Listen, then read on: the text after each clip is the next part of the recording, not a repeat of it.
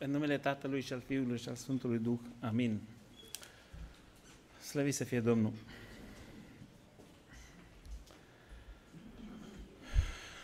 Iubiți frați, iubite surori, iubite soră Rebecca, îi mulțumim în primul rând lui Dumnezeu că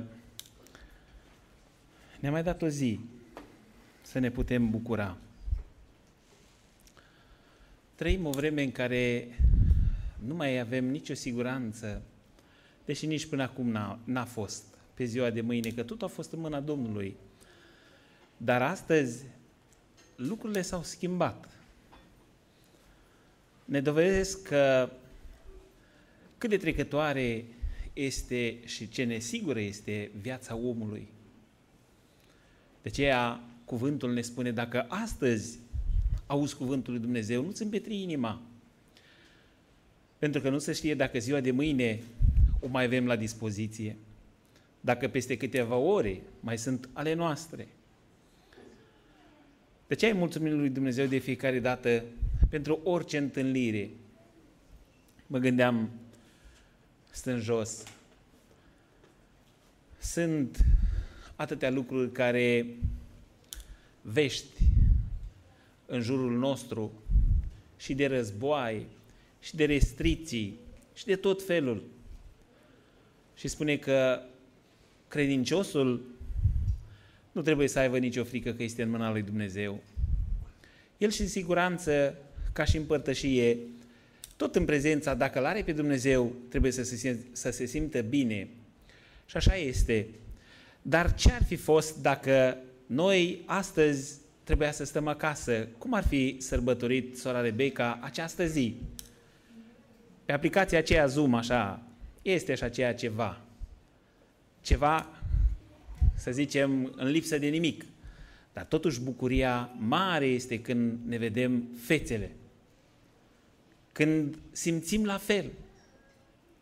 De aceea Sfântul Apostol Pavel ținea la lucrul acesta, să-i vadă fața lui Timotei. Este un lucru mare, simți ceva. Când vezi omul, Lipsește o săptămână și te gândești. Nu? Nu l-ai văzut. Te gândești ce se poate întâmpla. Când îl vezi, ai o bucurie. Așa face Dumnezeu. Ca să ne bucurăm pentru că suntem creația Lui și suntem în această comuniune, în această comunitate. De ce îi mulțumim Dumnezeu și pentru ziua de astăzi, pentru că ne-a dat acest prilej de bucurie pentru toți, inclusiv pentru părinți, pentru sora Rebecca, pentru surorile care sunt în jurul ei și pentru fiecare un moment de aducere aminte că și cei care am trecut prin această vârstă ne putem aduce aminte cum am sărbătorit și noi, ce promisiune am făcut atunci, câte le-am împlinit, câte le-am ținut și multe lucruri sunt care ne răscolesc în anumite momente.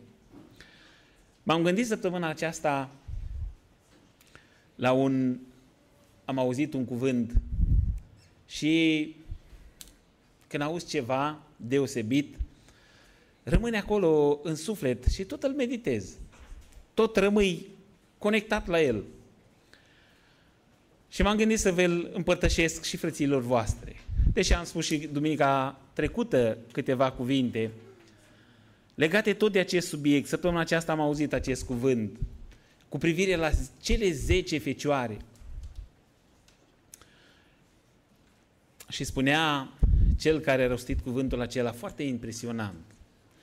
Deci când și-au dat ele seama că nu au ulei în candelă, știm când, nu? Când s-au auzit strigarea și când s-au pregătit să iasă în întâmpinarea mirelui.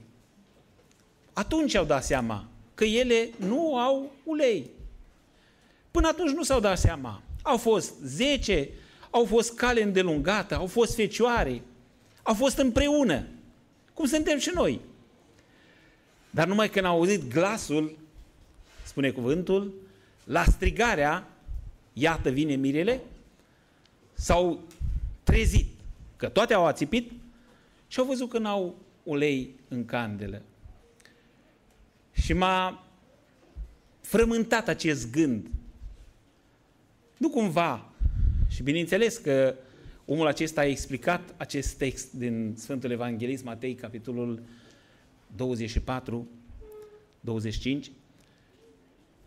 Perioada petrecută împreună. A fost o perioadă îndelungată, cum petrecem și noi împreună, mulți ani. Unii suntem din copilărie, așa cum amintea fratele Petru, s-au născut copii aici, au trecut ani, au făcut majorate, noi îmbătrânim. Au fost și care au plecat din rândul nostru, s-au întors în țară, ajungând la vârsta de pensionare și tot așa, trecem. Așa este ciclul vieții acesteia. Dar în toată viața aceasta, în tot timpul acesta, noi ne pregătim pentru ceva.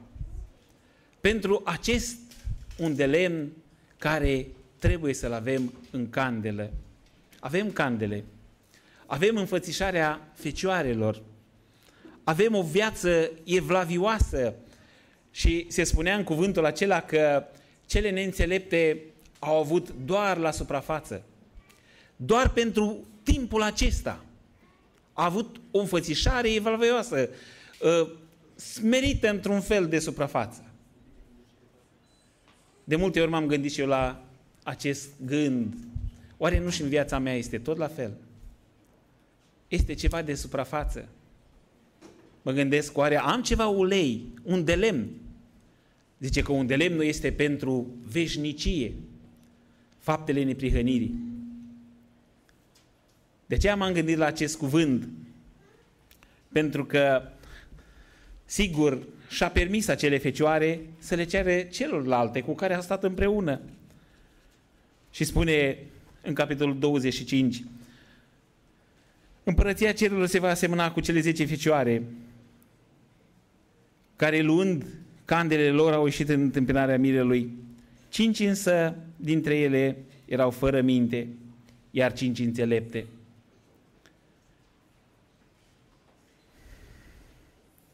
Că cele fără minte, luând candele, n-au luat cu sine și un de lemn. Iar cele înțelepte au luat un de lemn în vase, odată cu candelele lor. Dar mirele întârziind, au țipit toate și au adormit. Iar la mezul nopții s-a făcut strigare, vine mirele. Ieșiți în întâmplarea lui, atunci s-au deșteptat toate ale ce, acele fecioare și au podobit candelele lor și cele fără minte au zis către cele înțelepte, dați-ne din unde lemnul vostru că se sting candelele noastre. Dar cele înțelepte le-au răspuns zicând, nu, cu, nu, ca nu cumva să nu ne ajungă și nouă și nici vouă. Mai bine mergeți la cei care vând și cumpărați pentru voi. Deci plecând ele să cumpere, a venit mirele și cele ce erau gata au intrat cu el la nuntă și s-a închis ușa. Sigur, știm în continuare textul care relatează Mântuitorul prin Sfântul Evanghelist Matei. De aceea m-am gândit la cuvântul acesta. Să știți că ni se cere o pregătire pentru viața veșnică cum noi nu ne putem închipui. Și această pregătire ne-au demonstrat-o Sfinții lui Dumnezeu, casnicii lui Dumnezeu. Prin ceea ce biserica pomenește mucenici, sfinți, martiri, care toți au suferit câte ceva pentru acest cuvânt al lui Dumnezeu care noi îl auzim. Noi am suferit foarte puțin. Și am spus lucrul acesta. În ultima vreme, să zicem, în ultimii 30 de ani, generația mai tânără puțin a cunoscut din suferințele pentru cuvântul lui Dumnezeu. A fost această libertate de a te manifesta, de a-ți exprima liber credința. Dar am văzut, săptămâna aceasta a pus un ceva a postat pe internet părintele din America, părintele Mihoc, și câte lucruri nepotrivite sunt la adresa creștinilor. Spune că tot mai puțini sunt cei care tolerează această credință a creștinilor. Și cum trebuie să se pregătească ei? Noi suntem în adunare, sigur, vedeți acest îndemn a Mântuitorului cu cele zece fecioare. Erau zece fecioare. când vorbim și se vorbește de fecioare, se vorbește de o curăție, se vorbește de ceva sfânt în sine. Fecioară înțeleaptă sau fecioară nebună. Dar tot fecioară este. Numai că a pierdut timpul. Nu s-a gândit. Cât timp va mai fi până vine mirele? Nu și-a pregătit, spune cuvântul, nu și-a luat ulei în candelă. Avea candelă, dar nu avea ulei. Nu avea unde lemnul acesta. Să nu ne pierdem timpul nici noi. Se amintea despre înțelepciune. Sigur, în proverbe, înțeleptul Solomon, cu precădere ne spune tuturor, numai celor tineri, să ascultăm de părinții noștri. Păi noi, o parte din noi, nu mai avem părinți biologici, trupești. Dar totuși cuvântul ne spune să ascultăm de părinții noștri. Avem părinți duhovnicești. Chiar dacă ei s-au dus dincolo, dar ne-a rămas scrisul lor. Ne-a rămas pilda vieților. Ne-a rămas tot aurul care ei l-au strâns prin jertfă și suferință. Aceste pilde și îndemnuri, nu numai prin cuvânt, ci chiar prin viața lor, prin jertfa lor. Deci, urmărind aceste îndemnuri, punându-le în practica vieții noastre, deși nu este ușor, dar nu este nici greu. Încă nu este greu. Nu i s-a cerut nimic.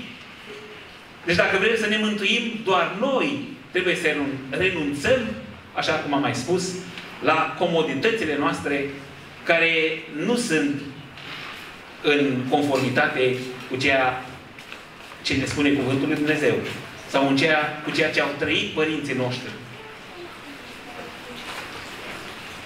Cuvântul ne vorbește, Cuvântul lui Dumnezeu ne vorbește de fericiri. Că vom fi fericiți. Când vom fi flămânzi, când vom fi săraci, când vom plânge, când vom fi batjocoriți, într-un cuvânt, când vom suferi, atunci vom fi fericiți. Nu atunci când cămările noastre, jânțele noastre, așa cum era acel om care cuvântul îi spune nebunule, acel om bogat care și-a adunat și el acolo multe lucruri pentru o fericire, dar o fericire fermelnică. Toți de pe pământul acesta, sau toți din adunarea aceasta dorim să ne mântuim. 100%. Toți dorim să ne mântuim. Credeți că ne pierdem vremea să venim până în locul acesta doar de dragul de a veni? Nu, așteptăm și noi ceva.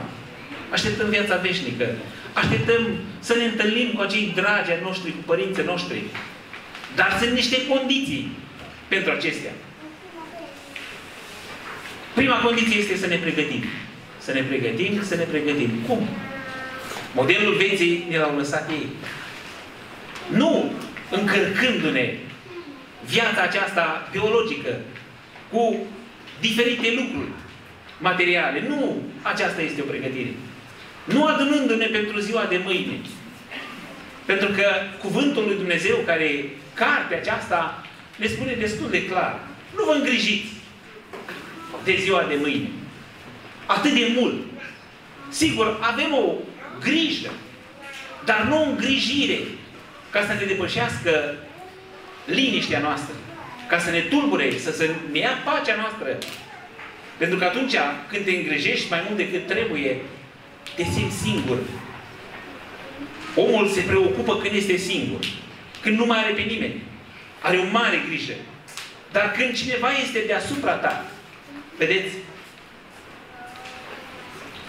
Vorbim pentru noi, frații. Când lucrezi la un patron, la o stăpân, știi că el îți dă de lucru în fiecare zi. Te duci, îți dă de lucru, îți faci lucru, pleci acasă, ți-ai luat geanta, nu ai nicio problemă. Când lucrezi tu, Că trebuie să-ți cauți tu lucru, când trebuie să dai tu lucru pentru alți oameni. Atunci lucrurile s-au schimbat. Ai multe preocupări. Foarte multe. Și de multe ori perzi șirul acesta. De multe ori, cu atâtea preocupări în capul tău, în inima ta, în viața ta, uiți de Cuvântul lui Dumnezeu. spunea fratele Petru, de citit sau de meditat sau... Păi nu mai ai timp. Nu ai cum să mai ai timp. Te gândești ce oameni să trimiți în locul putare, ce trebuie să faci în locul putare, ce te... Viața ți este ocupată atât de mult încât ți-ai pierdut echilibrul acesta între trup și suflet. De aceea, deosebirea între cele înțelepte și cele neînțelepte se va face la arătarea mirelui, la auzirea strigării. Încă mai este timp. Sunt multe. Duminica trecută aminteam de cele două exemple care le dă tot pe paginile Sfintelor Scripturi cu sămânța și cu acel cuvânt care îl spune Sfântul Apostol lui Timotei, cu privire la vase în casa tatălui. Sunt multe vase. Unele spre, unele spre cinste, altele spre ocar. Într-o casă mare. Multe vase. Unele ce spre cinste, altele spre ocară. Și spune, iar voi dați-vă toată silința să ajungeți vase de cinste. Noi am fost vase de ocară, nu? Așa am fost noi neamurile. Dar Dumnezeu ne-a dat această posibilitate să ajungem vase de cinste. Prin sfințirea vieții noastre, prin urmarea Cuvântului Lui Dumnezeu. Nu este ușor. Nu este ușor. Este ușor de vorbit. Dar când trebuie să trecem la practică, vedem cât de greu este să împlinești Cuvântul Lui Dumnezeu. Nu datorită că este greu cuvântul, ci datorită că inima noastră este legată de multe lucruri. Orice bine care îl faci, așa cum fratele Eliuță spune aici din poeziile care le-a mai schițat el așa, un om fără dragoste, un om fără jertfă, fără dăruire, spunea el că este ca un foc fără jar. Ce este un foc fără jar? Acum se aprinde și acum se stânge. N-are jar. N-are substanță. N-are nimic. Așa este și credința noastră. De multe ori și noi ne pierdem în lucrurile acestea pentru că nu avem o substanță. Ni se cere această substanță, ni se cere acest un de lemn. Avem calitatea de fecioare, avem candele, ne mai trebuie un de lemnul. Că altfel, spune cuvântul, că cele cinci au intrat și după aceea s-a închis ușa. Au ajuns și celelalte. Dar spune că mirele a răspuns, plecați că nu vă cunosc. Să ne ajute Domnul ca să putem acumula, strânge acest un de lemn. Și ne bucurăm și de prilejul care prilejul de care sunt și astăzi prilejul acesta de aniversare frumoasa vârstă de 18 ani. Sigur, fratele Traian spune că omul când se naște în lumea aceasta ca într-un surghiu. Și așa este. Ca într-o temniță am găsit scris. Așa vine sufletul. Ca într-o temniță. Și nu vedem câte probleme nu sunt zilnic. În câte mreje nu ne prinde diavolul prin această viață biologică. Nu vedem. Renunțăm de multe ori la Cuvântul lui Dumnezeu, care este prioritar. Renunțăm la familie. Întâlnesc zilnic oameni nefericiți. Oameni care, nu datorită faptului că, sigur, noi avem o cruce, spune cuvântul, ajunge zilei de cazul ei. Și crucea aceasta este pentru neascultarea părinților noștri. Blestemul acela care Dumnezeu l-a dat părintelor nostru, Adam și Evei, în spin și pălămidă, în sudoarea frunții să-ți câștigi pâinea și în naștere de fii te vei mântui. Și avem această cruce. Dar pe lângă această cruce care trebuie să ne ducem, este și crucea neascultării noastre. Este crucea păcatelor noastre. Pentru că ne spune înțeleptul Solomon, dacă veți asculta, vor fi îndelungite zilele voastre și nu vor fi atât de încărcate de suferință. Câtă suferință nu este în popor, câtă suferință nu este în jurul nostru, câtă suferință nu găsim și în viețile noastre atunci când ne întindem mai mult spre lucrurile pământești. Când suntem firești, este multă suferință. Nu reușești. Când un om firesc dorește să dobândească foarte multe lucruri și nu reușește, este o suferință în viața lui. Dar când noi știm că suntem străini și călători pe pământul acesta, când știm că suntem destul de bogați, dacă ne mulțumim cu cât avem, ce ne mai pasă? Dacă avem pâine pe toate celele zilele astăzi, așa spunem noi când rostim rugăciunea de Tatăl nostru și ne dă pâinea astăzi, mâine tot El ne poartă de grijă și ne dă și mâine. Dar sigur, am dorit mai mult de atât. Mai mult decât bucățica de pâine pentru astăzi, mai mult decât hrana și îmbrăcămintea, ne-am dorit să ne facem și noi pe undeva provizii și pentru mâine, să asigurăm viitorul nostru cu o pensie, cu o, dar nu numai al nostru, și a copiilor noștri. Să le lăsăm și lor câte ceva, și o moștenire. Și nu ne învață Cuvântul Lui Dumnezeu așa. Nu ne învață așa. Ne spune căutați mai întâi împărăția cerurilor și neprihănirea. Și toate celelalte se va adăuga vouă. Dar nu cum vrem noi, în cantități așa enorme. Să fim acolo cu conturile bine puse la punct. Și cu o casă mare și un garaj mare și mașini și... Nu așa. Știe Dumnezeu de ce avem noi nevoie. Și nu ne dă mai mult. Dar important este să ne încredem în mâna Lui. De aceea mă gândeam la acest cuvânt despre aceste fecioare. Să nu ne pierdem timpul, că nu știm când se va auzi strigarea. Nu știm să ne bucurăm de întâlnirile noastre, că nu știm cât timp va mai fi. Eu cred că și zic de fiecare dată, poate aceasta va fi ultima dată, nu știm. Vedeți, vine o lege, un decret, de mâine nu vă mai puteți întâlni. Și iar suferim, și iar stăm, și iar uh, toate lucrurile acestea. Sunt niște artificii și acestea. Dar bucuria mare este atunci când ne putem întâlni, ne putem bucura, ne putem vedea. Pentru că așa va fi și în cerul. Nu va fi acolo sufletele îngerii sunt încete. De ce este mare bucurie? Pentru cei care sunt, trăiesc în mănăstiri sau au fugit de lumea aceasta, sigur, este cu totul altceva. Dar pentru noi, ca familie, ca și comunitate, bucurie este întâlnirea. Este această cântare care o cântăm împreună. Sunt glasurile noastre care, cum spune poezia, le împletim. Și prin această cântare ajunge și înaintea lui Dumnezeu și îl revarsă harul lui. Să ne deschidem inimile pentru orice cuvânt. Și să strângem în inima noastră să, toată săptămâna să gândim, oare eu am un de lemn dacă se va auzi strigare? Nu știm vremea. Îmi spunea un medic zilele acestea era preocupat de situația alarmantă de aici, din Italia, zice, uite, uh, la început erau mai puține, acum se ridică 1600, 1700 și uh, el făcând parte și el din sistemul acesta, zice, mă îngrijorează că sunt foarte mulți tineri acum. Cei care se îmbolnăvesc de virusul acesta sunt foarte mulți tineri. Nu mor toți, sau mor foarte puțini. Dar nu știm noi lucrul acesta. Important este să ne pregătim. Sigur, ce teamă are un om credincios eu m-am gândit de multe ori, ce teamă să ai când știi că mergi acasă?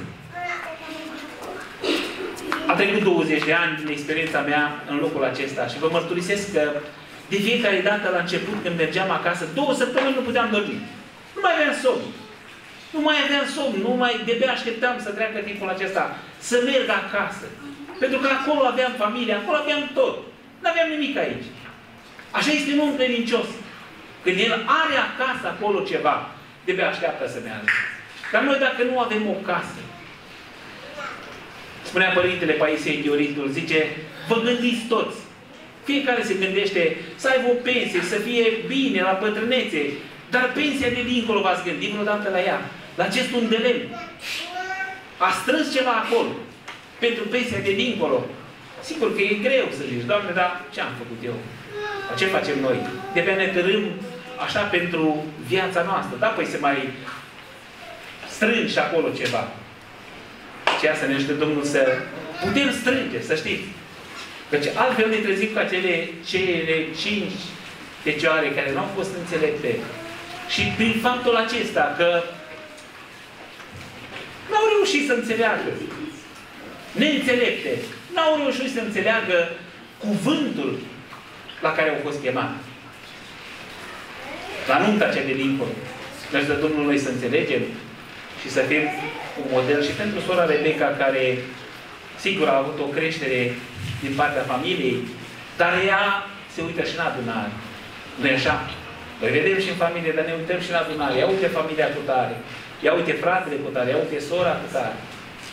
Ia uite și cel care vorbește și cel care nu vorbește. Sigur, așa sunt tinerii. De aceea e bine să ne ancorăm în Cuvântul lui Dumnezeu că spune pentru cel care va fi o piatră de potignire, ce spune? Ce ne deamnă cuvântul? Mai ușor este pentru el să-și lege o piatră de moară și să arunce în apă, decât să smintească pe cineva. Adică din pricina lui cineva să meargă în ea. Ne ajută Domnul să putem înțelege cuvintele acestea și să ne bucurăm de orice întâlnire.